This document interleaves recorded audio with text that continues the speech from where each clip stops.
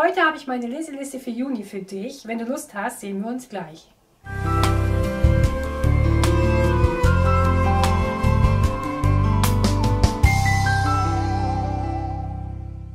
Hallo und herzlich willkommen zu einem neuen Video von mir. Mein Name ist Monika und heute zeige ich dir meine Leseliste für Juni. Ich bin gespannt, ich habe mir nämlich sehr viel vorgenommen, aber ich muss sagen, dieses strukturierte Lesen tut mir unheimlich gut und ich schaffe wesentlich mehr. Ich lese gerade in einer Lesegruppe die Stephen King Turmreihe und ich muss ganz ehrlich sagen, diese Lesegruppen, die machen mir unheimlich viel Spaß. Und wir sind jetzt gerade bei dem zweiten Teil, das ist drei und den werden wir definitiv auf jeden Fall den Monat beenden. Und ich gehe ganz schwer davon aus, dass wir dann auch mit dem dritten Teil anfangen, weil jeder von uns eigentlich begeistert ist von dieser Reihe. Und ich lasse mich echt überraschen, was da noch alles erzählt wird. Ich bin total begeistert. Mir macht diese Reihe unheimlich viel Spaß.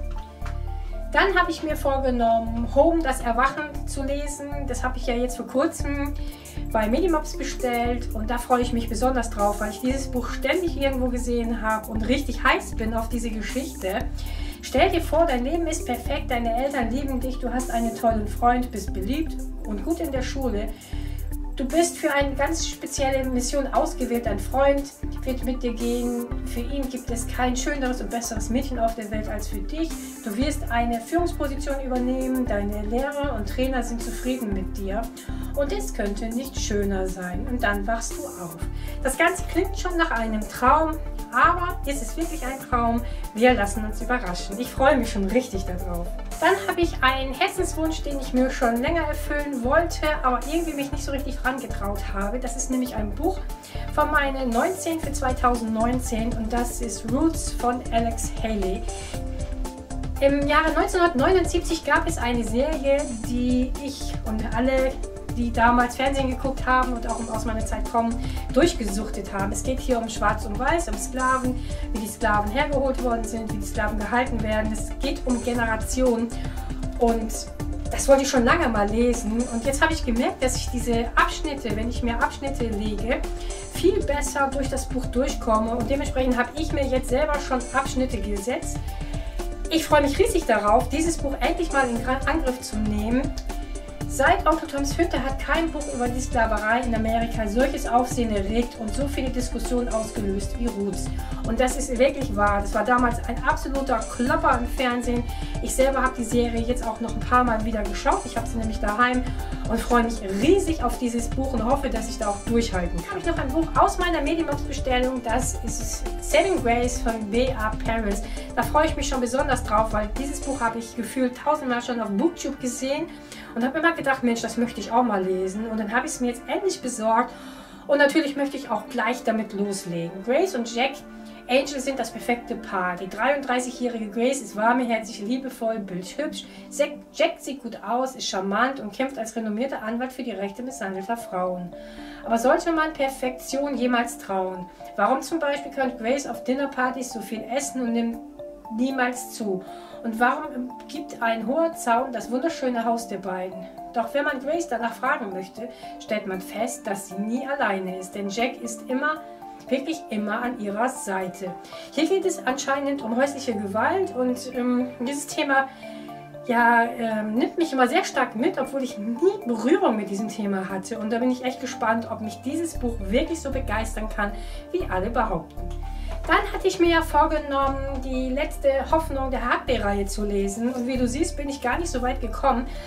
Aber dieses Buch möchte ich auf jeden Fall beenden und vor allem möchte ich auch den zweiten Teil dazu holen, weil mir diese Serie unheimlich gut gefällt. Also ich fühle mich da sehr wohl drin, bloß irgendwie habe ich mich dann nicht mehr so stark motivieren können, dieses Buch weiterzulesen, obwohl es für mich äh, total passend war. Also man hat sich gefühlt wie in einer Soap muss ich ganz ehrlich sagen. Und es hat mir sehr gut gefallen, aber es kamen halt wieder andere Bücher dazwischen, die ich dann ja interessanter fand und die ich unbedingt beenden wollte. Und ich nehme mir auf jeden Fall vor, diese beiden Bücher jetzt diesen Monat zu lesen.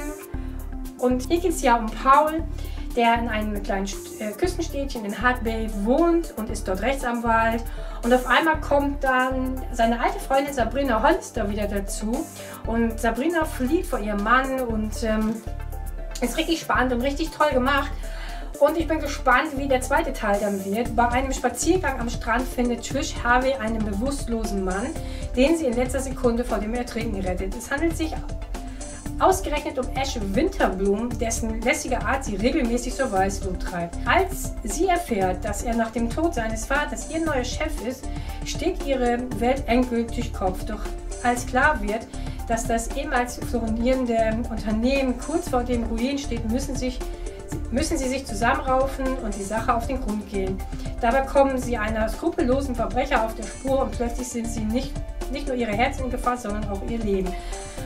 Und ich muss ganz ehrlich sagen, es ist wirklich wie eine Soap und ich freue mich richtig darauf, jetzt diese Bücher weiterzulesen. Es hat auf jeden Fall höchste Priorität. Als letztes habe ich mir vorgenommen, Blank of Time. Dieses Buch hatte ich ja bei meiner Weltbestellung dabei und hier geht es ja um Zeitreise. Und ähm, ja, die Zeitreise, wo man dann immer wieder seine Zukunft verändern kann. Und das mag ich ja unheimlich gerne. Dieses Buch hat sehr, sehr gute Bewertungen. Und ich bin echt gespannt, weil ich mag sowas unheimlich gerne. Und meistens geht sowas ja auch nie gut aus. Ne? Jeder möchte gerne seine Zukunft ein bisschen verändern, aber man verändert auch wieder Sachen, die gut waren, die werden dann wieder schlecht und andere Sachen werden gut und so. Also ich bin richtig gespannt, was hier erzählt wird. Sarah Leiken flieht vor der Realität, doch vor welcher? Ein Junge will ihr helfen, doch woher weiß er von ihrem Problem? Ein Leben ist wie das andere, doch welches ist das Richtige?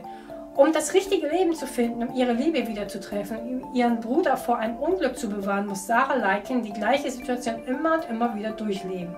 Sie kann, immer wieder für, sie kann sich immer wieder für ein neues Leben entscheiden, aber sie kennt vorher niemals den Preis, den sie dafür bezahlen muss.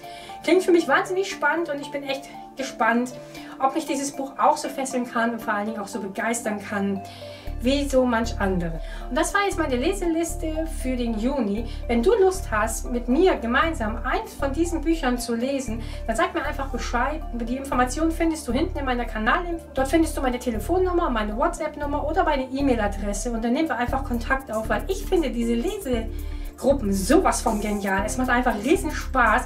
Und du musst kein Booktuber sein, du kannst auch einfach ein Zuschauer sein und sagen, Mensch, ich habe Lust mit dir das Buch zu lesen und ähm, ja, mich mit dir auszutauschen. Und wenn dir dieses Video gefallen hat, dann lass mir gleich ein Like da und vor allen Dingen, wenn du keine Videos von mir verpassen möchtest, dann abonniere unbedingt kostenlos meinen Kanal, dann bekommst du immer wieder Nachricht, wenn ich ein Video hochgeladen habe. Und wir sehen uns dann auf jeden Fall im nächsten Video. Ciao!